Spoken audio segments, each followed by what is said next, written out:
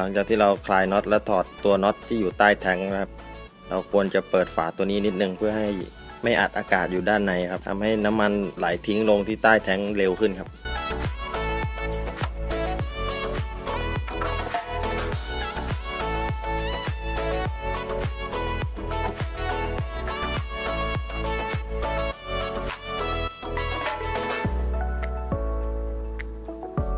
จากนั้นเราก็เอาอุปกรณ์ตัวนี้แหละ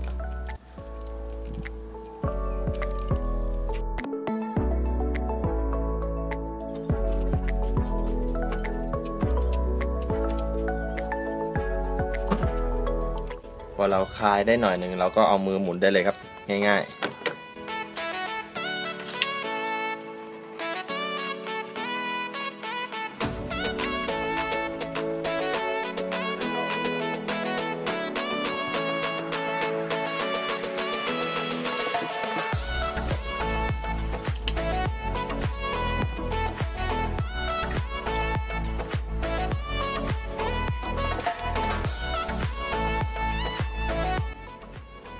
มาแล้ว สภาพยังไม่ดำเท่าไหร่ มั้งส่วนน้ำมันนี่เราเก็บไว้ใช้ได้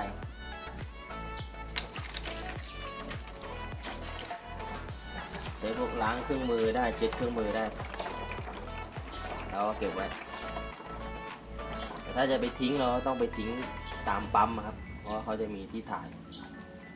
น้ำมันเครื่องที่เราทิ้งแล้ว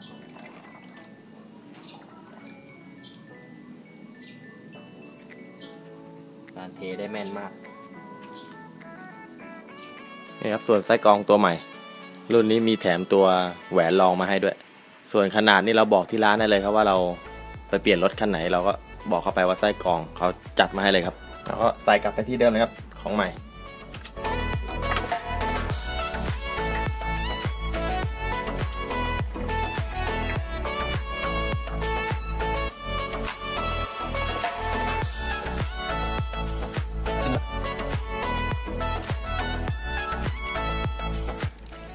ช่วยขันเข้าไปอีกทีให้มันเป็นให้มันแน่นขึ้นครับ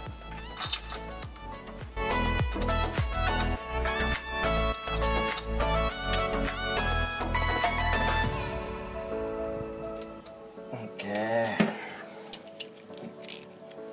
นี่ครับน็อตใต้แท้ง เราควรเปลี่ยนตัวแหวนนี่ด้วยครับ ทุกครั้งในการเปลี่ยนน้ำมันเครื่องครับ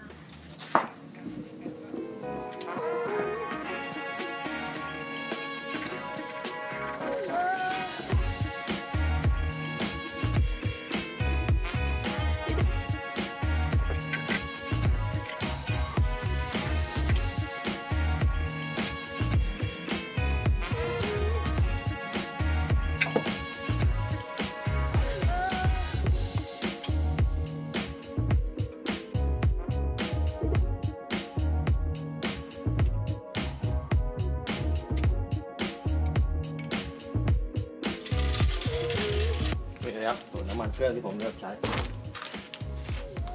ยี่ห้ออะไรไม่รู้ที่สำคัญคือมันมีของแถม ผมเลยเลือกมา มาแกะกัน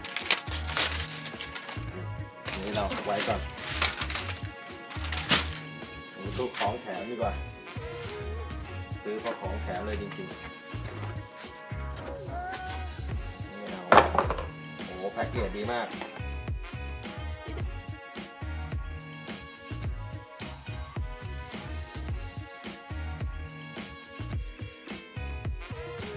เข้าเรื่องดีกว่าเก็บ ตัวน้ำมันนี่ครับ ตัวเราควรดูที่ตัวนี้ ค่าความหนืด ส่วนเรื่องรายละเอียดตัวหน้ากับตัวหลังลองลอง search หาดูในจากอินเทอร์เน็ตก็ได้เพราะว่ามีข้อมูลเยอะมากเลย แล้วก็นี่จำนวนลิตรครับ เพราะว่ารถเก๋งส่วนมากจะใส่ประมาณแค่สี่ลิตรเท่านั้น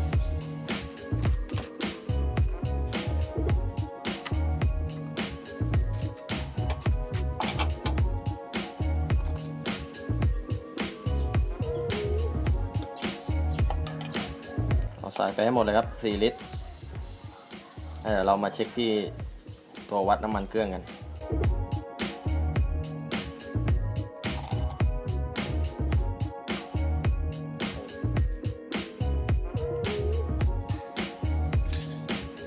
นี่ครับตัวเช็คน้ำมันเครื่อง จะบอกมีจุดอยู่สองจุด ให้อยู่ประมาณ จุดที่สองนะครับ แต่ว่าถ้ามันเกินก็ไม่เป็นไรเดี๋ยวเวลาตอนสตาร์ทเครื่องเนี่ยเดี๋ยวมันก็จะพอดีจุดที่สองตัวนี้พอดี